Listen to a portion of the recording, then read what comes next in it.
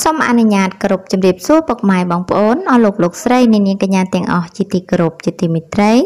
នៅថ្ងៃនេះផងដែរនាងខ្ញុំនឹងលើកយកព័ត៌មានសង្គមចាថ្មីមួយទៀតហើយមកជម្រាបជូនពុកម៉ែបងប្អូនទស្សនានិងសន្តាប់ចា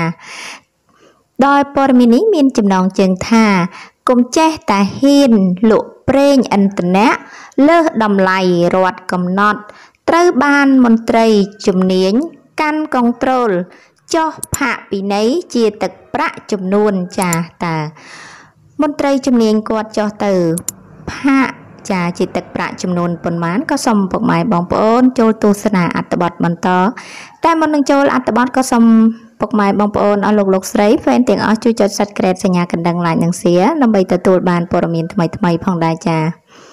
ប្រិមិត្តប្រកាសជាបានជ្រាបទទួល ដឹងមកហើយ ចំពោះ តម្លៃប្រេងផ្សាំងចា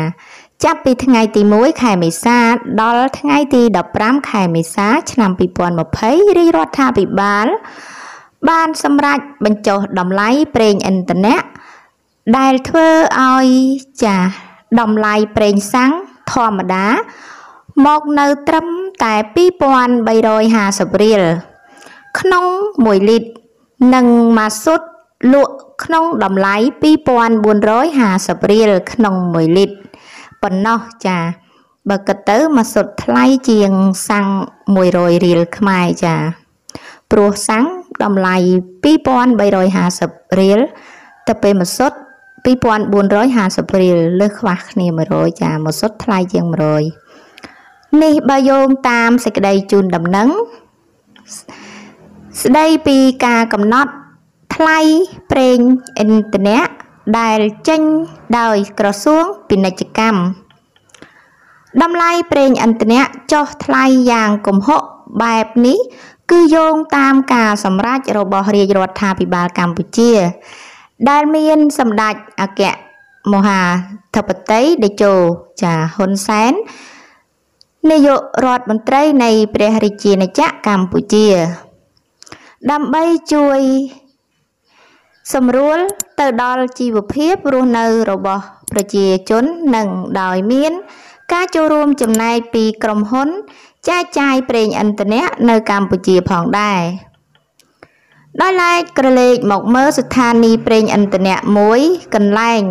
ដែលជាដេប៉ូតេនឡាមានឈ្មោះណាណាចាជាងឡូចាគឺបានលក់ លើសតម្លៃដែលរដ្ឋាភិបាលបានកំណត់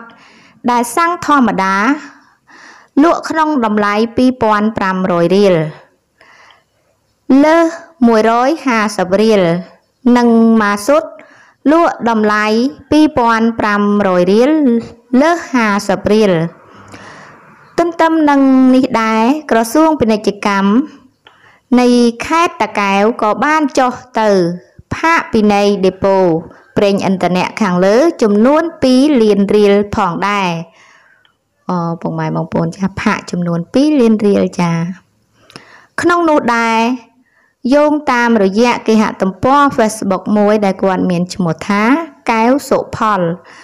បានសរសេរប្រាប់ឲ្យដឹងថាចូលរួមត្រួតពិនិត្យស្ថានីយ៍ប្រេងឥន្ធនៈនៅស្រុកចាព្រៃល្បាប់ខេត្តតាកែវ ថ្ងៃទី27ខែ4ចាស់សំទោសថ្ងៃទី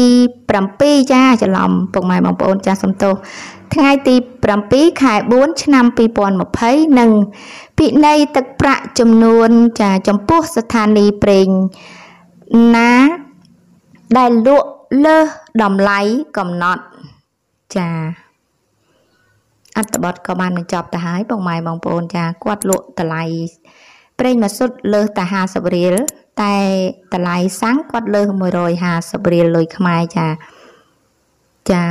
ព្រោះអីរាជរដ្ឋាភិបាលបញ្ជាដាក់ឲ្យលក់ប៉ុណ្ណឹងពេលគាត់ដាក់តម្លៃលើសបន្តិចក៏គេទៅផាក់ពិន័យដែរបងម៉ែបងប្អូនចា